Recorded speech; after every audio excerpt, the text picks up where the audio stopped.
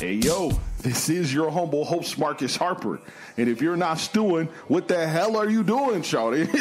That's right. Make sure you check out my show, The Marcus Harper Show, live every Saturday, 9 a.m. Eastern Standard Time on the all new 2livestewsradio.com. Make sure you lock that in, 2livestewsradio.com. Lock in the Doug Stewart Show.com. Every Saturday, the Marcus Harper Show, 9 a.m. Authentic, organic sports talk, soul beats, and life. Yes, hop aboard this trade of thought every Saturday. Health is wealth, life is good. Mm. One.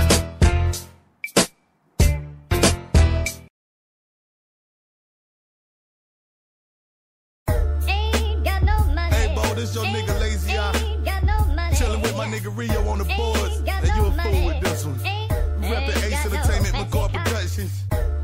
We Pole Mountain today, nigga. Pole Mountain out this motherfucker. My. Carolina niggas know what I'm talking about. Ain't got no money. Fuck it, ain't got no money for these bitches. Ain't got no fancy I seen this girl walking down, just a mine, not a dime, but kinda fine. Hit that line, what's your sign? She replied to Capricorn. After this, she puffed the lime. She like green like Asked me, did I have a ride? Ain't got a fancy car, got an old look line. Why you showing in them ties? That's why you're walking around. Meeting you, Miss Pretty Brown. It had to be destiny that got you out here with me. You puff on these palmetto trees. My game strong like Hercules. Her ass cheeks was hurting me. Poking out them black capris while we strolling down the street. By the store that used to be. Snatch it, go, we called a taxi. Headed down to 52. What your choice for the room? When the cab stopped, I said, got she paid the dude. She caught the room. I told her I left my wallet home in the debit too. Hit her with the winky loo. She said it was worth it, boo. Plus my dick's incredible. This is what a nigga doing. Ain't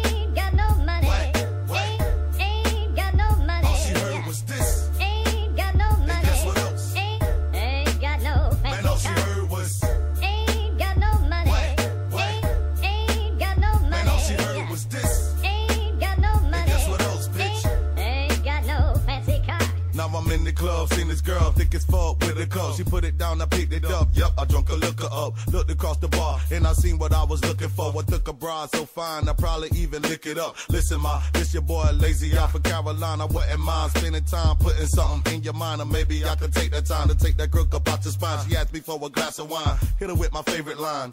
Ain't got no money. She said, What? I don't speak we rhyme, but you so fine. I'ma say this one more time.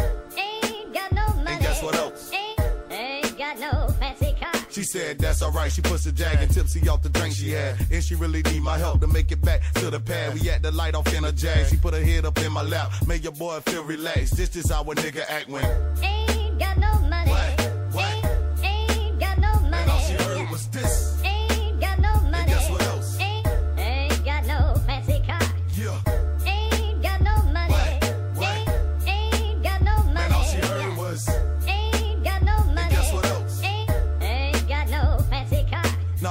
Show, seen this model taking pictures on the Volvo, sipping hypno out the bottle. My games in his full.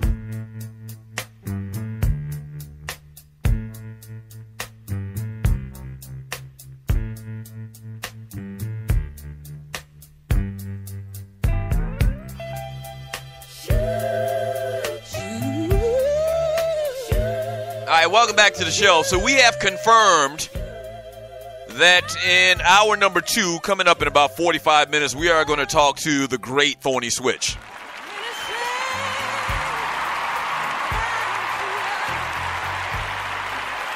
She is uh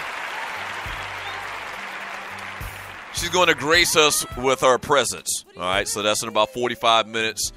Uh, stay tuned to the Doug Stewart Show. 404 822 5467. You can also email me at Doug at the Doug Stewart DougStewartShow.com. Once again, I put a survey slash poll up, I guess you would.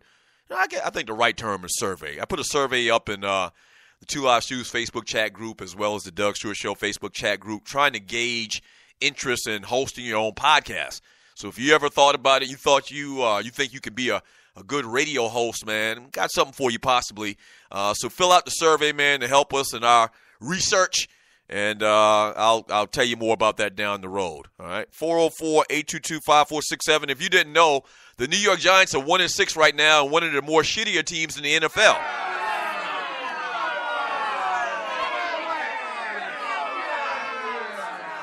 And uh, man, GM Jerry Reese says that it's all his fault. He's placing or says to place all the blame on him, um, and not to any particular section of the team. The Giants had their or head into their bye week with the NFL's third worst record, only behind Cleveland and San Francisco. Uh, only the winless Cleveland Browns and the San Francisco 49ers are worse. Here's a quote from Jerry Reese, their GM. This is the roster that I put together. I'm the reason we're one and six. Reese said at his annual bye week news conference. We do have to play better as a team, so we lose together, we win together. I believe everyone is accountable here for what goes on. We're one and six together, but you can put it all on me. And I guess that's just a noble thing to do to follow on the sword. Um, but it's not all his fault. The players on that team are pretty bad.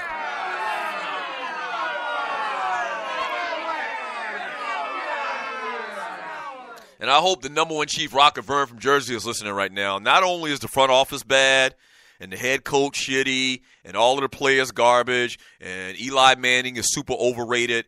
Um, they they're just horrible altogether. So that's commendable by Jerry Reese taking a lot of the blame for what's going on in New York, man. But it's not all his fault, man. There's a lot to blame, a lot of blame to spread around in that horrible, horrible, stinky ass organization.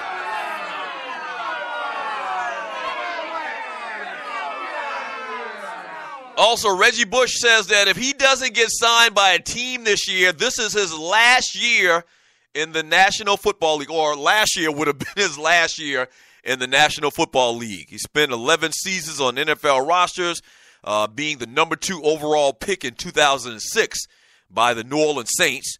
He says, quote, I still want to play, but if it doesn't happen this year, then I'm going to retire. Uh, he told the media on yesterday, I'm not going to miss a whole year and then try to come back for another season at 33 years of age. It doesn't make sense at all. Uh, Bush has played in 134 career games and gained 9,088 yards from scrimmage during his career. He has 1,286 carries for, for 5,490 yards and 477 receptions for 3,598 yards in his time playing for the New Orleans Saints, the Dolphins, the Lions, the 49ers, and the Buffalo Bills. Uh, so Reggie Bush has had a pretty decent career, but I, I, whenever I think about Reggie Bush, let me try to pull up this guy's stats right now. And you're listening to the Doug Stewart Show. Whenever I talk about Reggie Bush, in the same way I've talked about this Christian McCaffrey kid, is when he came out of college. A lot of y'all listened to the Stews back in the day. This is this is just me uh, echoing some shit that I've already said a million times. Never thought Reggie Bush, even the dynamic career that he had in college at USC. You're listening to the Doug Stewart Show. Bottom line, Christian McCaffrey had another lackluster performance uh, in the game against the Chicago Bears. Uh, Bears won the game 17 to three. Christian McCaffrey rushing for the Carolina Panthers this weekend. He had seven rushes for 14 yards.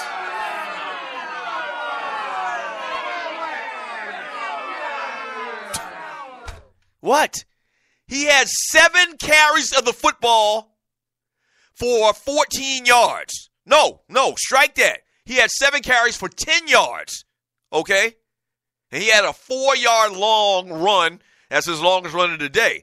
And then he's obviously big in the passing game. They tried to get the ball to him a lot. He was targeted nine times by Cam Newton. He caught seven passes for 36 yards.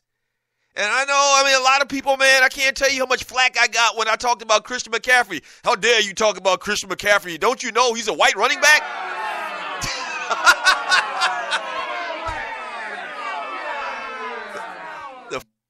I guess prove that it was a good pick early on uh, when they drafted him in the first round as high as they did.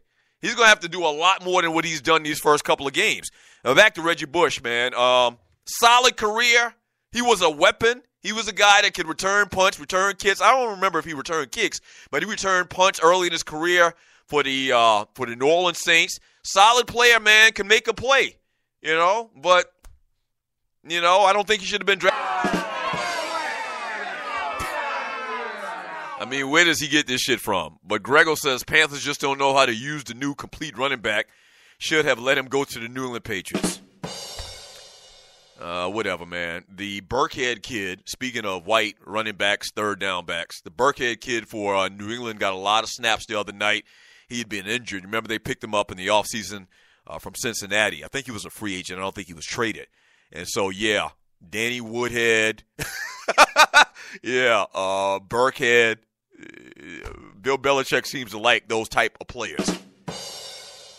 I hear you, Grego. From Big L X Squad Clay, Sheba Baby is my Jerome from Martin voice. Um, from Rail Scott, I was so happy that Reggie Bush left the NFC South. I was running back. They just don't have that type of skill. Like, and it's not because of their size either. I mean, Barry Sanders wasn't that big of a running back. He was in the same kind of like uh, body frame as these other guys that I'm talking about, Bush and McCaffrey. But man, uh, Barry Sanders would love going through the tackles between the tackles. Me myself back in the day, I love running between the tackles. I did.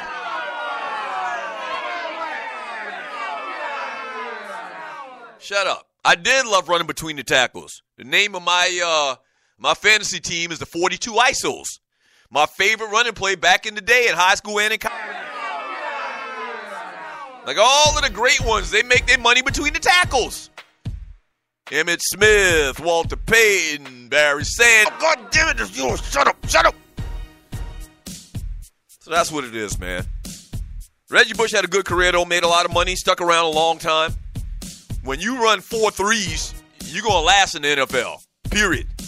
The great Jimmy Johnson said it. You can't teach speed. Hey, back in three minutes, the Doug Stewart Show.